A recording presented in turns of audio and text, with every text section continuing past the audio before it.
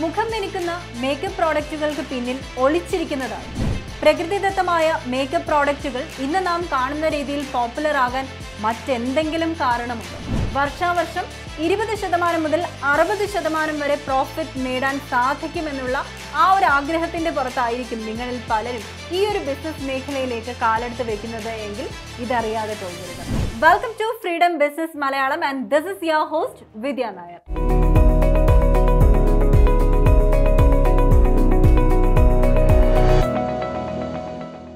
ഞാൻ ഈ പറഞ്ഞതുപോലെ തന്നെ നമ്മുടെ ഈ കോസ്മെറ്റിക് ആയിട്ടുള്ള മേക്കപ്പ് പ്രോഡക്റ്റിന്റെ എല്ലാം പിന്നിൽ ഒരുപാട് നമ്മുടെ സ്കിന്നിനെ ഡാമേജ് ചെയ്യുന്ന ഹെയറിനെ ഡാമേജ് ചെയ്യുന്ന ഒരുപാട് കണ്ടന്റ് ഉണ്ടെന്ന് നമുക്കറിയാം അല്ലേ?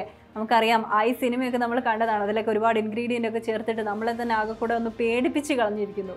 അല്ലേ? നമ്മൾ പ്രകൃതിദത്തമായിട്ടുള്ള ഹെർബൽ ബ്യൂട്ടി പ്രോഡക്ട്സിനെ ഉപയോഗിക്കുക എന്ന് പറയുന്നത് ഒരു അയ്യായിരം വർഷം മുമ്പ് തന്നെ നമ്മളൊന്ന് പരിശോധിക്കുകയാണെങ്കിൽ പോലും അവിടെ പ്രകൃതിദത്തമായിട്ടുള്ള നമ്മുടെ ഈ സൗന്ദര്യവർദ്ധക വസ്തുക്കൾക്കും ആരോഗ്യ സംരക്ഷണ വസ്തുക്കൾക്കും എല്ലാം എന്താണ് ഒരു റിട്ടേൺ എവിഡൻസ് കാണാനായിട്ട് സാധിക്കും. സോ നമ്മുടെ ഒരു പാരമ്പര്യം തന്നെയാണ് പ്രകൃതിദത്തമായിട്ടുള്ള ചേരുവകൾ കൊണ്ട് നമ്മുടെ സ്കിന്നിനെയും നമ്മുടെ ഹെയറിനെയും നമ്മുടെ ആരോഗ്യത്തിനെയും എല്ലാം സംരക്ഷിക്കണം എന്നുള്ളത് അല്ലേ?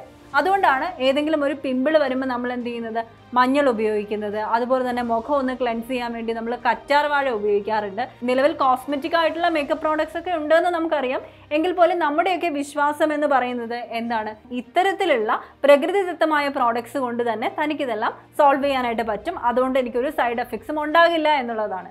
നമ്മളെ സംബന്ധിച്ച് നമുക്ക് ഇതിനെക്കുറിച്ചൊരു അറിവ് പണ്ട് മുതലേ തന്നെ ഉണ്ടായിരുന്നു. അതുകൊണ്ട് തന്നെ ഒരു ഹോബിയായിട്ട് മഞ്ഞൾ അരയ്ക്കുന്നതോ അതല്ല എന്നുണ്ടെങ്കിൽ മഞ്ഞളും കറ്റാർവാഴയും ഒക്കെ ചേർത്തൊരു ഫേസ് പാക്ക് ഉണ്ടാക്കുന്നതോ ഒക്കെ നമുക്ക് വളരെ ഇൻട്രസ്റ്റിംഗ് ആയിട്ടുള്ള കാര്യമാണ്. നമുക്ക് കുറച്ചൊന്ന് സമയം കിട്ടിയാൽ നമ്മുടെ സൗന്ദര്യം കൂട്ടാൻ വേണ്ടി നമ്മൾ ചെയ്യുന്നൊരു കാര്യവുമാണ്. എന്നാൽ ഇതിനെക്കുറിച്ചെല്ലാം വ്യക്തമായൊരു ധാരണ നമ്മുടെ മറുനാടൻ വിഭാഗക്കാർക്കും കിട്ടിയിട്ടുണ്ട് എന്ന് തോന്നുന്നു. അതുകൊണ്ട് തന്നെ ഈ ഒരു കോസ്മെറ്റിക് ഇൻഡസ്ട്രി അനുദിനം വളർന്നുകൊണ്ടിരിക്കുകയാണ്. പക്ഷേ പ്രത്യേകം നമ്മൾ മനസ്സിലാക്കിയിരിക്കേണ്ട ഒരു കാര്യം എന്ന് പറയുന്നത് ഹോം മെയ്ഡ് നാച്ചുറൽ ബ്യൂട്ടി പ്രോഡക്ട്സിനോടുള്ള ഡിമാൻഡാണ് ഇന്ന് വളരെ വേഗത്തിൽ വളർന്നുകൊണ്ടിരിക്കുന്നത്. അതുകൊണ്ട് തന്നെ നമുക്ക് പറയാനായിട്ട് പറ്റും ഈ ഒരു മേഖലയിൽ നമ്മൾ കാലെടുത്ത് വെക്കുകയാണ് എന്നുണ്ടെങ്കിൽ ഇരുപത് മുതൽ അറുപത് ശതമാനം വരെ നമുക്ക് ഒരു പ്രോഫിറ്റ് നേടിയെടുക്കാനായിട്ട് സാധിക്കും വർഷാവർഷം തന്നെ. അതോടൊപ്പം തന്നെ ഈ പറഞ്ഞ പോലെ ഒരു വർത്താണ് എൺപത്തി മൂവായിരത്തി ഒരുന്നൂറ്റി തൊണ്ണൂറ്റി രണ്ട് കോടി വർത്താണ് കോസ്മെറ്റിക് ഇൻഡസ്ട്രിയിലുള്ളത് ഇത്തരത്തിൽ ഏറ്റവും റിച്ച് ആയിട്ടുള്ള ഒരു സംരംഭകനാകില്ല നമ്മൾ എന്ന് ആര് കണ്ടു അല്ലേ? ഒരു മികച്ച സംരംഭകനായി മാറാനായിട്ട് സാധിക്കട്ടെ ഒരു home made natural beauty products ഒക്കെ തുടങ്ങിയിട്ട്. അപ്പോൾ ഇത്തരത്തിലൊരു ബിസിനസ്സിലേക്ക് കടക്കുമ്പോൾ നിങ്ങൾ അറിഞ്ഞിരിക്കേണ്ട ഒൻപത് പോയിന്റ്സിനെ കുറിച്ചാണ് ഞാൻ പറയുന്നത്. ഫസ്റ്റ് വൺ എന്ന് പറയുന്നത് ഫുൾഫിൽ ലീഗൽ റിക്വയർമെന്റ് എന്ന് പറയും. നമുക്ക് നിയമപരമായിട്ട് ഒരു ബിസിനസ് തുടങ്ങാൻ വേണ്ടി ടാക്സ് റിലേറ്റഡ് ആയിട്ടുള്ളതോ ഒക്കെ ആയിട്ടുള്ള പല പല കാര്യങ്ങളുണ്ട്. അത് നമ്മൾ ഫുൾഫിൽ ചെയ്യണം. ഒരു പാർട്ട്ണർഷിപ്പോ അതല്ലാന്നുണ്ടെങ്കിൽ ഒരു പ്രൈവറ്റ് കമ്പനിയോ അതല്ല ഒരു സോൾ പ്രൊപ്രൈറ്റർഷിപ്പ് ആണോ നമ്മൾ തുടങ്ങുന്നത് എന്നതിനെക്കുറിച്ച് വ്യക്തമായ ഒരു ധാരണ വേണം.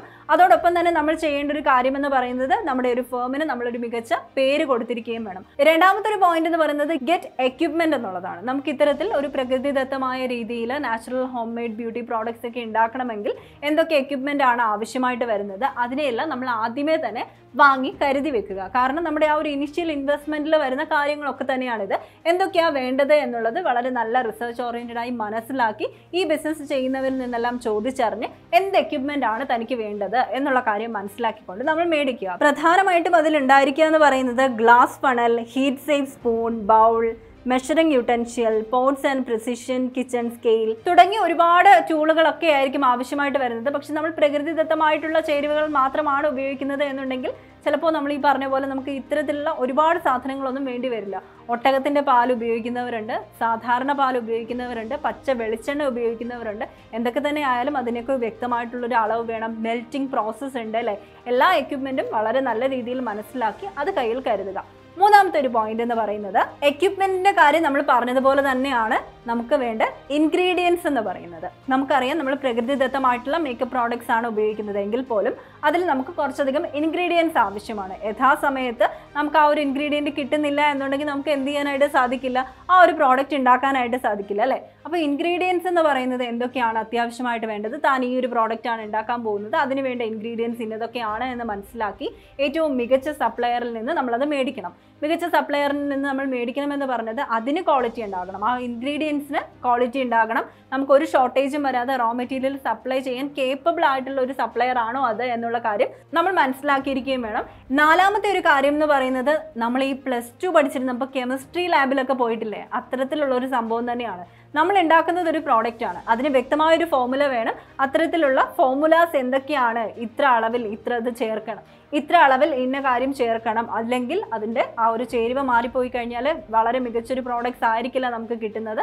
അങ്ങനെയൊക്കെയുള്ള കാര്യങ്ങൾ മനസ്സിലാക്കി റൈറ്റ് ഫോർമുലാസ് ഓക്കെ നാലാമത്തെ കാര്യം എന്ന് പറഞ്ഞാൽ ഏറ്റവും വ്യക്തമായ രീതിയിൽ നമ്മുടെ എത്രമാത്രം ഇൻഗ്രീഡിയന്റ് ആണ് ചേർക്കേണ്ടത് എവിടെയാണ് ഹോട്ട് പ്രോസസ്സ് വരുന്നത് അങ്ങനെയൊക്കെയുള്ള കാര്യങ്ങൾക്ക് വ്യക്തമായിട്ടുള്ള ഫോർമുല നമ്മൾ എഴുതി തയ്യാറാക്കി വെച്ചിരിക്കണം. കാരണം പിന്നീട് നമ്മുടെ ലേബേഴ്സ് വരുമ്പോൾ അല്ലെങ്കിൽ നമ്മളിപ്പോൾ ഒറ്റയ്ക്കാണ് തുടങ്ങുന്നത്. അതിനുശേഷം കുറച്ച് ജോലിക്കാർ വരുമ്പോൾ അവർക്കും ഒന്ന് റെഫർ ചെയ്യണം എന്നുണ്ടെങ്കിൽ ഇത്തരത്തിലുള്ള ഫോമുലാസ് ഒക്കെ നമുക്ക് പറഞ്ഞു കൊടുത്ത് ട്രെയിൻ ചെയ്തെടുക്കാനായിട്ട് സാധിക്കും. അതിന് ഇത് വളരെയധികം അത്യാവശ്യമായിട്ടുള്ള ഒരു കാര്യമാണ്. കാരണം നമ്മൾ ഡീൽ ചെയ്യുന്നത് മറ്റൊരു വ്യക്തിയുടെ ആരോഗ്യവും ചർമ്മവും ഹെയറും ആയിട്ടാണ്. അഞ്ചാമത്തെ ഒരു പോയിന്റ് എന്ന് പറയുന്നത് മോസ്റ്റ് ഇമ്പോർട്ടന്റ് ആണ്. ക്രിയേറ്റ് ലേബൽസ് എന്ന് പറയുന്നത്. എന്തൊക്കെ ഇൻഗ്രീഡിയൻസ് ആണ് ഉള്ളത്? ഏത് രീതിയിലാണ് അത് ഉപയോഗിക്കേണ്ടത്?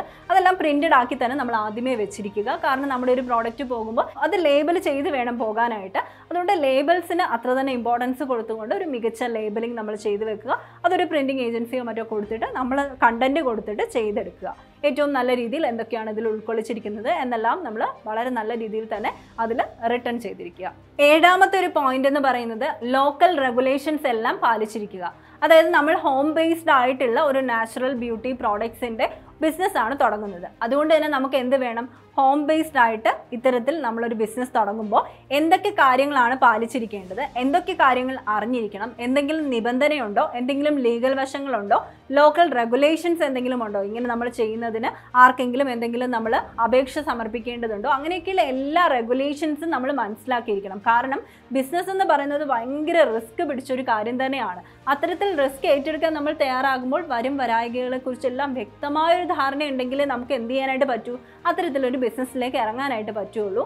അതുകൊണ്ട് തന്നെ നമ്മൾ ചെയ്യേണ്ട ഒരു കാര്യം എന്ന് പറയുന്നത് ലോക്കൽ റെഗുലേഷൻസ് എല്ലാം മനസ്സിലാക്കിയിരിക്കണം. എട്ടാമത്തെ ഒരു പോയിന്റ് എന്ന് പറയുന്നത് ബിൽഡ് എ വെബ്സൈറ്റ് നമ്മൾ ഹോം ബേസ്ഡ് ആയിട്ടാണ് തുടങ്ങുന്നത്. നമുക്കൊരു ഓഫീസോ ഇൻഫ്രാസ്ട്രക്ചറോ ഒന്നുമില്ല. എന്നാൽ ഒരു ലാബ് ലബോറട്ടറി ഉണ്ട്. അവിടെ നമ്മുടെ പ്രോഡക്ട്സ് എല്ലാം നമ്മൾ എന്ത് ചെയ്യുന്നു? ഉണ്ടാക്കി എടുക്കാറുണ്ട് അല്ലേ? അതുകൊണ്ട് തന്നെ നമുക്ക് അത്തരത്തിലൊരു ലാബ് ഉണ്ട്. നമ്മൾ അത് മാത്രമാണ് നമുക്ക് ആ ഉള്ളത്. പക്ഷേ ഈ ഒരു പ്രോഡക്ട്സിനെ കുറിച്ചും നമ്മളിങ്ങനെ ചെയ്യുന്നുണ്ടതിനെ കുറിച്ചും എല്ലാം എസ് സിഒ ഫ്രണ്ട്ലി ആയിട്ടുള്ള കണ്ടന്റ് റിച്ച് ആയിട്ടുള്ള വെബ്സൈറ്റുകൾ പുറമെ പോയാൽ മാത്രമേ നമുക്ക് എന്ത് ചെയ്യാനായിട്ട് പറ്റത്തുള്ളൂ. നമ്മുടെ ബിസിനസ്സിൽ ഒരു വളർച്ച ഉണ്ടാവും. അപ്പോൾ ഏതൊരു ബിസിനസ്സിനും വെബ്സൈറ്റ് ആവശ്യമാണ് എന്ന് പറയുന്നത് പോലെ തന്നെ നമുക്ക് ഒരു വെബ്സൈറ്റ് ആവശ്യമാണ്.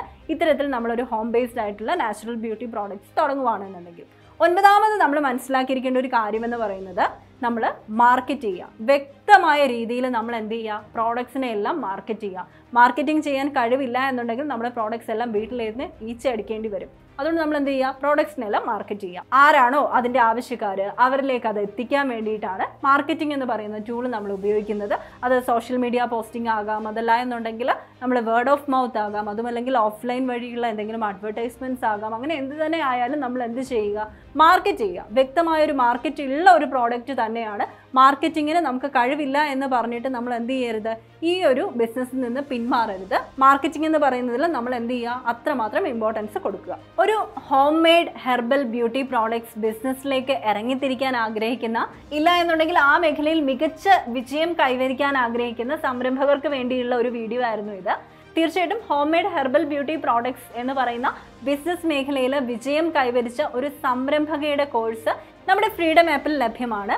അവിടെ നിന്ന് നിങ്ങൾക്ക് മുഴുവൻ ഇൻഫർമേഷൻസും കിട്ടും. നിങ്ങൾ പ്രധാനമായിട്ട് മനസ്സിലാക്കിയിരിക്കേണ്ട ഒൻപത് ഘടകങ്ങളാണ് ഞാൻ പറഞ്ഞു തന്നത് എന്നുണ്ടെങ്കിൽ ആ ഒരു ബിസിനസ്സിൽ ജയിച്ച വ്യക്തിയിൽ നിന്ന് ബിസിനസ് പ്ലാൻ എങ്ങനെ ചെയ്യണം ലേബൽ എങ്ങനെ ചെയ്യണം പാക്കേജിങ് എങ്ങനെ ചെയ്യണം എങ്ങനെ കെമിക്കൽ ഫോമുല എഴുതണം എന്തൊക്കെ എക്യുപ്മെന്റ്സ് ആണ് നമ്മൾ ഒരിക്കലും വിട്ടുപോകാതെ മേടിക്കാനുള്ളത് എവിടെ നിന്നാണ് അത് മേടിക്കാനുള്ളത് എങ്ങനെയാണ് സപ്ലയേഴ്സിനെ കണ്ടെത്തേണ്ടത് തുടങ്ങി ഒരുപാട് ഒരുപാട് ഒരുപാട് അറിവുകൾ നമ്മൾ നേടാനുണ്ട്. അത് നേടണമെന്നുണ്ടെങ്കിൽ ഇപ്പോൾ തന്നെ പ്ലേ സ്റ്റോറിൽ നിന്നോ ആപ്പ് സ്റ്റോറിൽ നിന്നോ ഫ്രീഡം ആപ്പ് ഡൗൺലോഡ് ചെയ്യുക. കാരണം ഈ മേഖലയിൽ വിജയിച്ച ഒരു സംരംഭകയുടെ ഒരു കോഴ്സ് അതിലുണ്ട്. ഹോം മെയ്ഡ് ഹെർബൽ ബ്യൂട്ടി പ്രോഡക്ട്സിനെ സംബന്ധിക്കുന്ന ആ ഒരു കോഴ്സ് നിങ്ങൾക്ക് കണ്ടുകൊണ്ട് തീർച്ചയായിട്ടും എന്ത് ചെയ്യാനായിട്ട് സാധിക്കും? നിങ്ങൾക്ക് ഈ ഒരു ബിസിനസ്സിനെ വളരെ വിജയകരമായ രീതിയിൽ മുന്നോട്ട് കൊണ്ടുപോകാനായിട്ട് സാധിക്കും. അങ്ങനെ നിങ്ങൾക്ക് സാധിക്കട്ടെ എന്നുള്ള ഒരു ശുഭ പ്രതീക്ഷയാണുള്ളത് ഈ ഒരു ചാനൽ ആദ്യമായാണ് കാണുന്നത് എന്നുണ്ടെങ്കിൽ സബ്സ്ക്രൈബ് ചെയ്യാനും ലൈക്ക് ചെയ്യാനും ഷെയർ ചെയ്യാനും അതുപോലെ തന്നെ നിങ്ങളുടെ ആ ഒരു സപ്പോർട്ടാണ് ഞങ്ങളുടെ വിജയം എന്നുള്ള കാര്യവും നിങ്ങൾ മറന്നു പോകരുത്. മറ്റൊരു ഉപകാരപ്രദമാകുന്ന വീഡിയോയുമായി കണ്ടുമുട്ടാം. Children take this is your host Vidya Nair signing off